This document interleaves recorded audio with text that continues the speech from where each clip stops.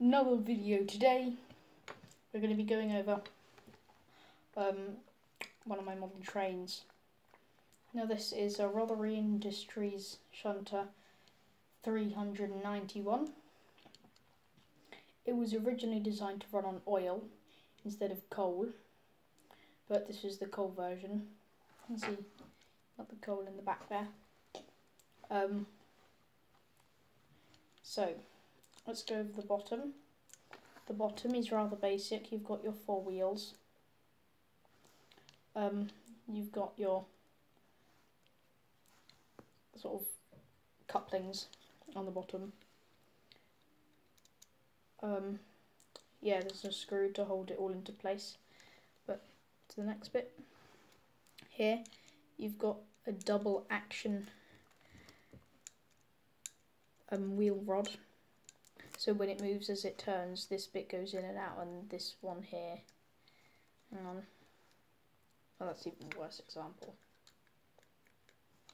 But um, the one on the bottom would go in and out, and the other two would just go round.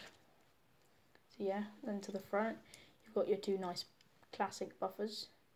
You've got your nice um. There we go. You've got your nice like um the door to the boiler. Oh, I can't remember what it's called now. Uh, you've got your metal railings along the side.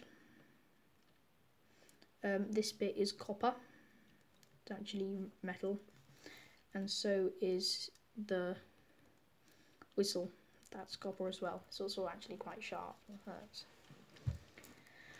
But on the top, yeah, you just I went over pretty much everything, but you've got your roof and you've got your windows. Driver's eye view. It's actually quite limited visibility, but I guess if you were that small and there you go, now you can see my eye. If you're actually that small and your face pressed up right up to it, you'd probably be okay. But yeah, side. There's actually quite a lot of floor space in there. Yeah, quite detailed interior. Um,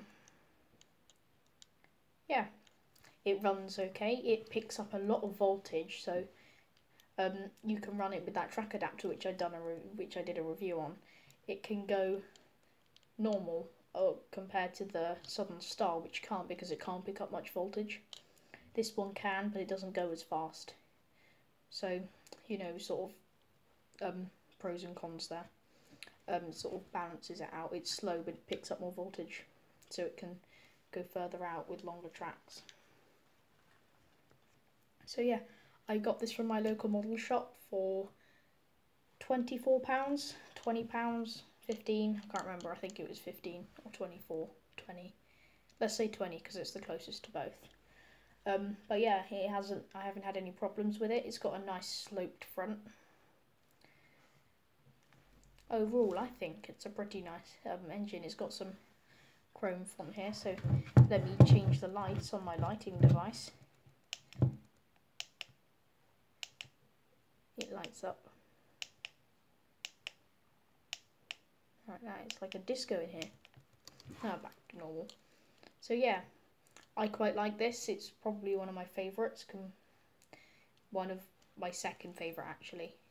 So I'm going to say like, subscribe, and I'll see you next time with a gecko vlog. Bye!